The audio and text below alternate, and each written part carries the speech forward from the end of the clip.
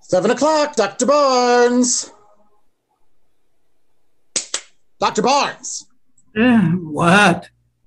Seven o'clock. Morning or evening? Evening. Have I had my supper? Uh, yes. Well, I'm still hungry. How do you account for that? It's your liver. Uh, You can't tell me anything about my liver. Well, I could. If I could, I would be the liver specialist and you would be my assistant. My wife's going to the theater tonight, isn't she? Uh, yes, and you're going with her. Who said so? Uh, she did. Well, she's usually right. Her choices are excellent, with a few exceptions. Theaters, for instance, uh, she likes those noisy plays. They won't allow anyone to sleep. Well, it would take several brass bands to keep you awake. What's the use of staying awake? Nothing ever happens nowadays. Doesn't it? You're too sleepy to notice. What do you mean? Did it ever occur to you that people can suffer from love as well as liver? Who the dickens is in love? Keep awake, you'll find out. Minter, do you know why I continue to employ you? Because I continue to stay with you. You haven't ever mentioned leaving. I wouldn't mention it. I'd go. I think you had better go. You are getting too fresh. What time for breakfast? Breakfast shouldn't concern you. It never does because I don't take it. What time for you? Uh, Minter, I am terminating your service. Uh, here's your salary. We'll say eight then. Uh, I said you are terminated. Are you refusing to go? You'd better get dressed for the theater. Minter, you are most impertinent. Try to remember the difference in our stations. Oh. There's the doorbell. Shall you answer it? What do you mean? That is the difference in our stations. Oh, life would be very pleasant and peaceful if it were not for Minter.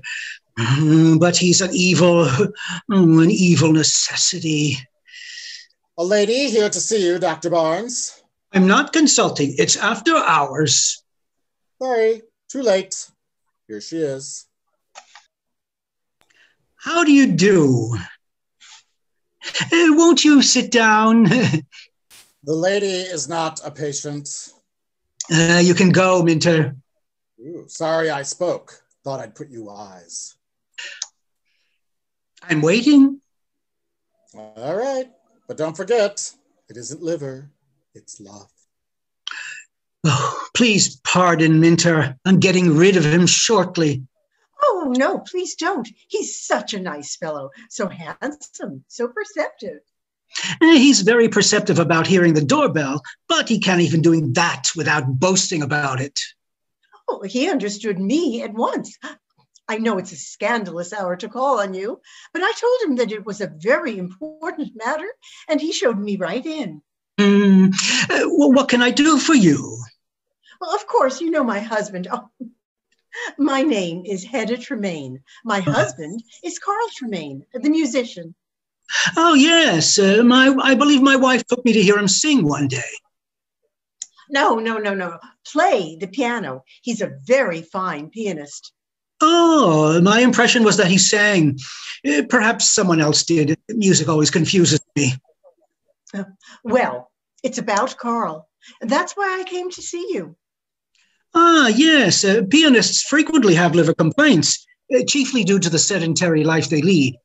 He should take a course in dancing and after every sixth scale or arpeggio. Uh, should do a buck and wing or a little ballet. If you had time, you could shimmy with him. That would be better still. Oh, oh no, no. His liver is perfectly all right. Oh, then your husband cannot interest me, madam. I specialize in the liver. Oh, he's sound as a bell physically. It's his mental condition I want to talk to you about. You see, he's desperately in love. Oh, don't do anything for it. It will cure itself. Oh, perhaps you think he's he's in love with me. Well, not at present. Uh, Just now, he's in love with your wife. Well, that's perfectly natural and a healthy sentiment, too. Uh, my wife is a very attractive woman, and anyone who is immune to her beauty would probably be suffering from some liver complaint. And then you have no objection to their affection for each other? Oh, their affection? I was not aware that my wife reciprocated the attachment. No, I thought not. Well, she does. Well, there, there, must be some mistake. My wife is always candid with me, uh, and she hasn't even mentioned him. Well, he never lies to me either. Uh, he wouldn't tell me that if he wasn't sure. what do you prefer? Should I blacken your husband's eye, or will you be going after my wife's hair? Oh, I prefer to avoid those very things. My husband is coming to see you. Promise me you will not injure him in any way. Well, I intend to be completely gracious with your wife. But wouldn't we be committing a social error by taking it so calmly? Oh, no. The best way for us to react to their social error is by committing one ourselves. Mm-hmm. Besides, why should they get all the publicity? We can create a bigger sensation by remaining perfectly calm.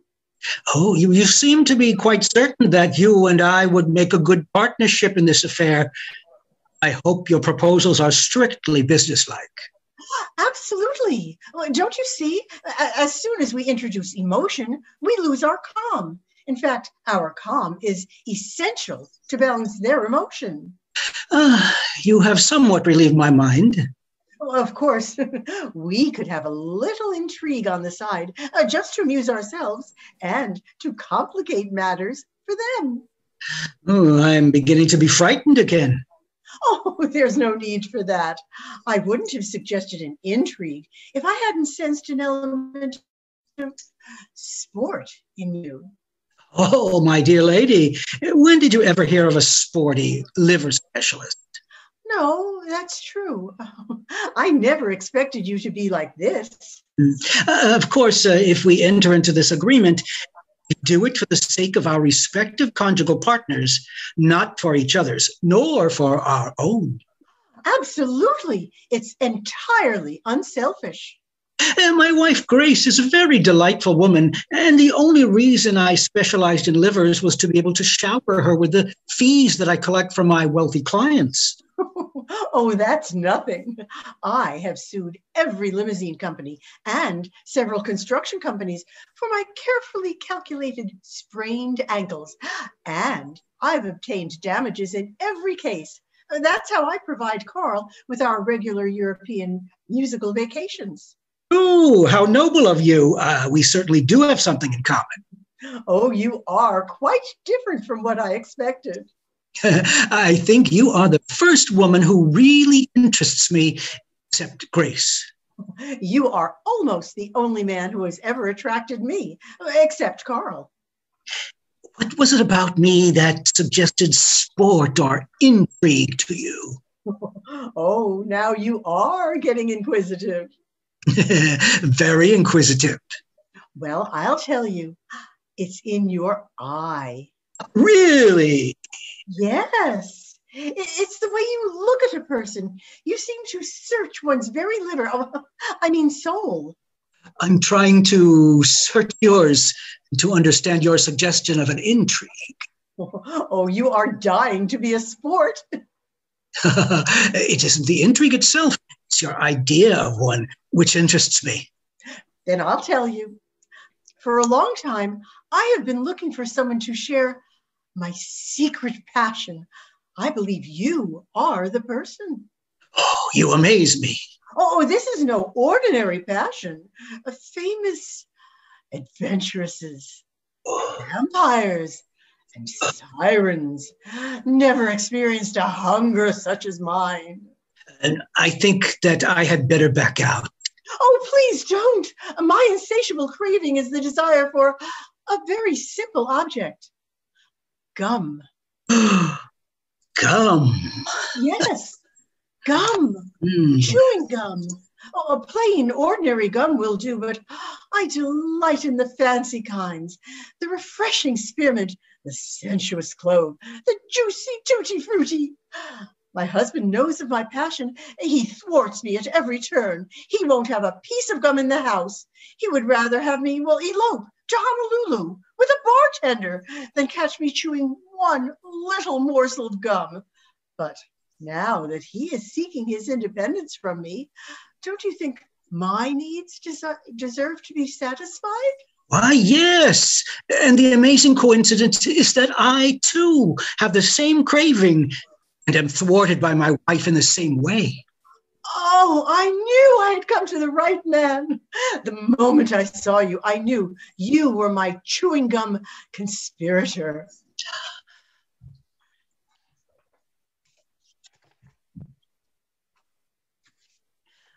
I'm almost afraid to show this to anyone.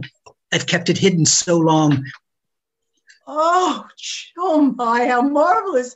Wrigley spearmint. Oh, give me some. Be careful. Um, Grace might come in at any moment, and, and then there would be a terrible scene. Oh, what do we care about Grace or Carl or anyone? Let's be rash. Let's abandon ourselves. oh, oh, but rapture. Oh, it has a wonderful aroma, hasn't it? Oh, this risk of discovery will never do. We must meet in some secret place. What about the subway? Oh, the subway. Mm, just you and I and our gum on a long ride, perhaps to the Bronx Zoo or Van Cortlandt Park. Oh, it shall be.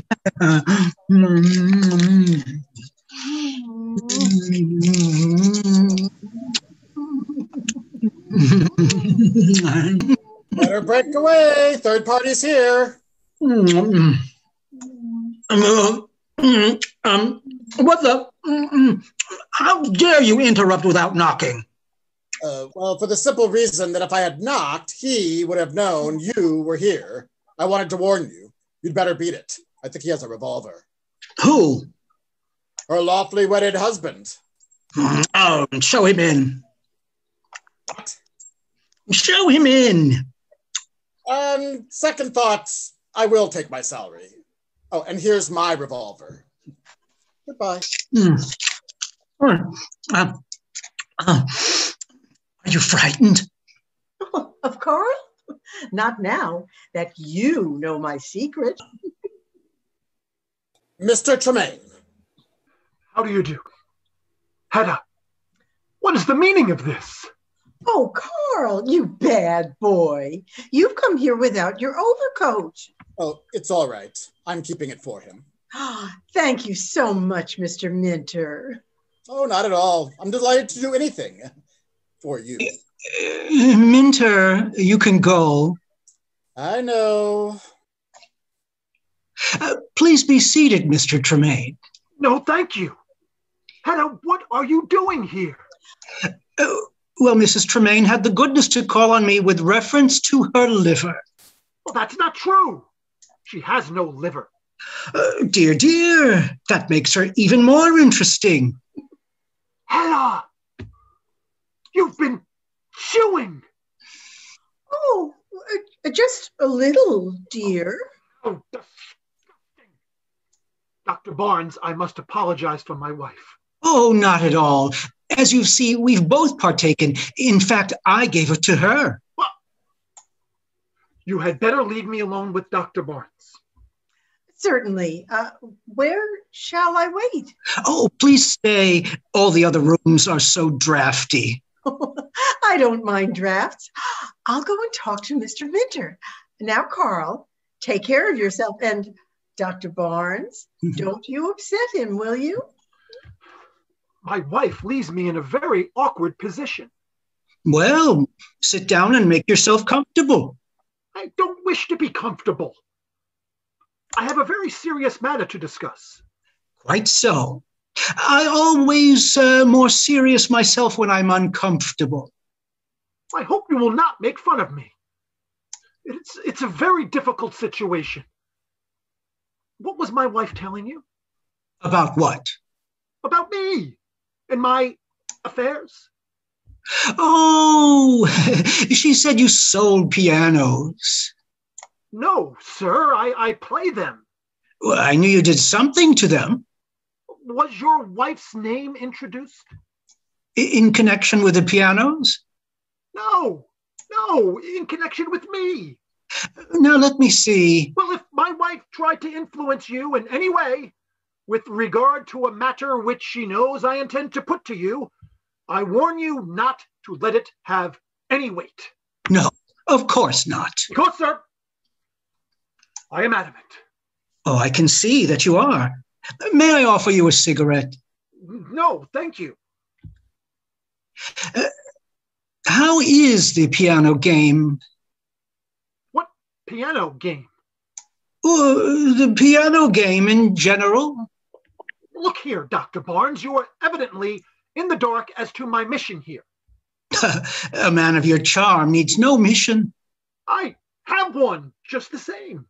Uh, uh, I think you will admit to yourself, if not to me, that you are by nature, profession, and temperament entirely unsuited to your wife's society.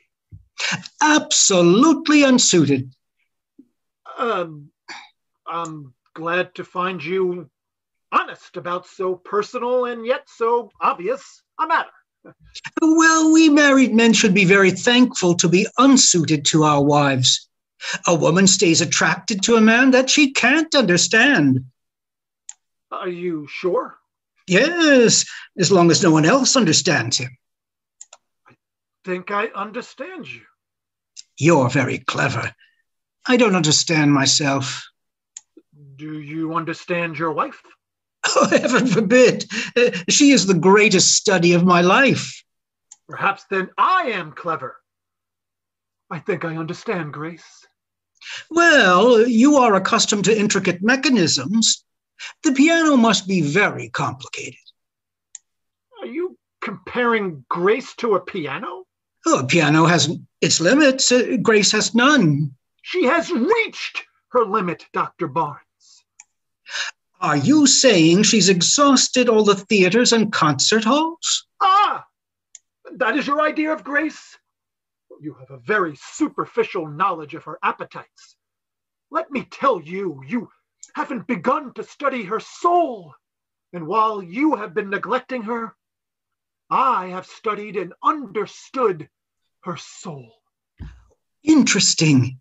Would you mind putting your results on one of my diagnostic forms?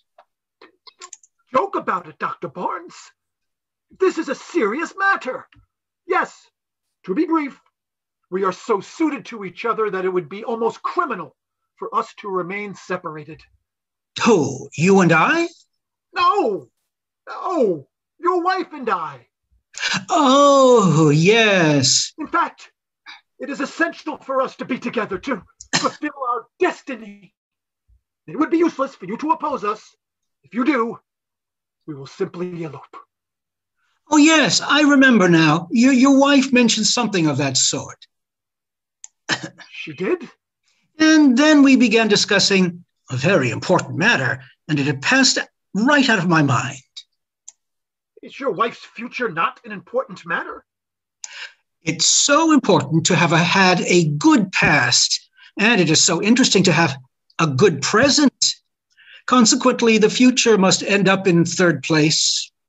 Do you mean to say that you're accepting my proposal? Uh, you said it was useless for me to oppose you.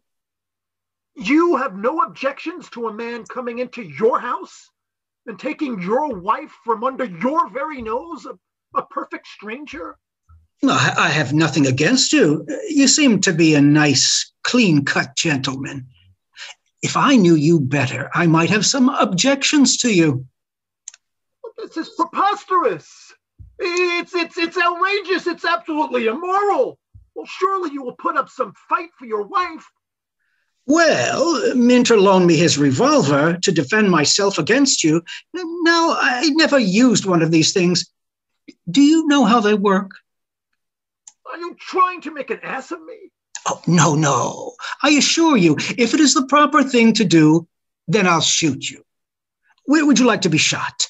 You see, if I kill you, you will be of no further use to Grace. On the other hand, if I wound you severely, you will again be out of luck because Grace is an atrocious nurse. I never heard anything as ludicrous in my life. Hmm. I can't waste another moment here. I shall go and fetch Grace and take her away from you at once. Try to be back by June 20th, will you? I always take Grace to visit my relatives in Yonkers. She entertains them while I examine their livers. I have tried hard to control myself, Dr. Barnes, but your utter contempt for the common decencies, your lack of appreciation of your wife, and your general unsoundness of mind are more than I can bear. Let me tell you all my life. Uh, excuse me, but Mrs. Tremayne says not to strain your voice as you have a lecture tomorrow. Also, not to bang your fingers on the table as that will spoil your touch. What the devil are you doing out there with my wife? I was telling her how complicated my life has become now that I've started taking care of other people's wives. Oh, get out! Uh, don't forget about the voice. Good evening, Minter. George, it's time to leave for the theater. Hmm. Why, there's Carl. How are you? Darling, you aren't ready for the theater. You know how I like to hear the overture. He's a terrible trial, Carl. I'll never be able to train him. Grace, come away from your husband. From Georgie? Why? Oh, I see. George Barnes, you've been chewing again. How bad of you. Throw the horrid stuff away. Yes, dear. Grace, what do you mean by this familiarity with that man? Do you realize why I came here tonight? To meet him, I suppose. Oh, have I interrupted a consultation? I am so sorry. Carl, there's nothing wrong with your liver, is there? Oh, Do suppose I should come to your husband about my liver? I can't think of anything else you would want to see him about. Not even about you? My liver's all right, isn't it, Georgie? Have you gone out of your senses? Or are you trying to fool me? Because it won't work. I tell you, it won't work. Whose liver won't work? Georgie, who's ill? What's the trouble? I, I think you've forgotten an appointment you had with Mr. Tremayne. Oh, dear, have I? He seems to think you made an agreement with him to elope with him Oh, that's perfectly true. I did. Yes, dear. We had a long talk the other night and we decided it would be quite the latest thing to do. When shall we start, Carl? Good God. Am I really the only sane person left? Am I to stay here and listen to a wife tell her husband that she is going to elope with me? Well, Carl, I'd have told him before, only I forgot. I think you are the most impossible people I ever met. I wouldn't elope with you if you got down on your knees and begged me. That's for you, Dr. Barnes. You're a hypocrite. Your liver must be in a wonderful condition. Would you let me use you as a standard type in my new book? No, no, I absolutely refuse. Carl isn't a standard. Everything about him is original and I'm sure his liver is no exception. Oh, what have they been trying to do to you, Carl? Oh, leave me alone, Hedda. Are you trying to make a fool of me too? How could you say such a thing? Have, have you made a fool of Carl? How very unkind of you. I, I, must apologize for my wife. Through a lapse of memory, she forgot to tell me that she was about to elope with your husband that has apparently upset his plans, so now he is refusing to pursue the matter. and I don't blame him. He has a very sensitive nature. And, and, though big things might slip his memory, he is very particular about trifles. Trifles? I seem to have made an awful mess of things. Oh, well, we know you didn't do it intentionally. Uh, come, Carl, dear, we, we had better go. I, I hope you are not tired, and I do hope we shall meet again. I should like to hear you play Wagner on our church organ. That's the last straw. Your wife trifles with my emotions. You outrage my sense of decency. Hannah defies my independence. and now you cap it all with the request for Wagner on a church organ. Do you realize that a 50 piece orchestra can only begin to interpret Wagner? And you ask for him on an organ? Where's my coat? Minter has it, dear. Come to dinner some night and bring your wife. If we were on a desert island and you two had the only coconut, I wouldn't chew one piece of it. What a splendid fellow. Oh, he is just splendid in his own way. Someday he will compose a symphony which even the critics will understand. well, goodbye, Mrs. Barnes. Goodbye. Uh, goodbye, Dr. Barnes. I'll see you to the door. Oh, oh, please, don't trouble. One day, next week, Subway, bring the gum with you. I'll wait for a message from you. Send Minter. George, where did you get this chewing gum? The, the woman tempted me and, and I did eat. Did she give it to you? Uh, yes, dear. Oh, Uh, now, don't get angry, darling. I would far rather have you buy it yourself and be honest about it. Did you give this to Mrs. Tremayne? Certainly not. I thought no. I caught her trying to get away with it. I didn't think she was that kind of person. What are you putting it there for? Well, it belongs there, doesn't it? What makes you think that? Well, I ought to know. I've had enough of it. Minter, there's your revolver. Go shoot yourself. If I did, your business would go to the devil. I'm the only lasting impression anyone gets from a consultation with you. Oh, one moment, Minter. You are witness that my husband lied to me. Georgie, you shall pay for this. You shall not take me to the theater. Oh, dear. I shall go, and just to spite you, I shall sit by myself. Oh, dear. Um, perhaps I could be assistance to you, Mrs. Barnes. Oh, thank you, Minter. You shall take me. No, no, I object. I absolutely object to your going to the theater with Minter. You should have more regard for my feelings. Had you any regard for my feelings? I found you chewing in my house with another man's wife. Just the same, I absolutely refuse to let you go with Minter. Oh, we shall see. Oh, but think, dear, Think what? if if Minter leaves, I shall have to answer the doorbell.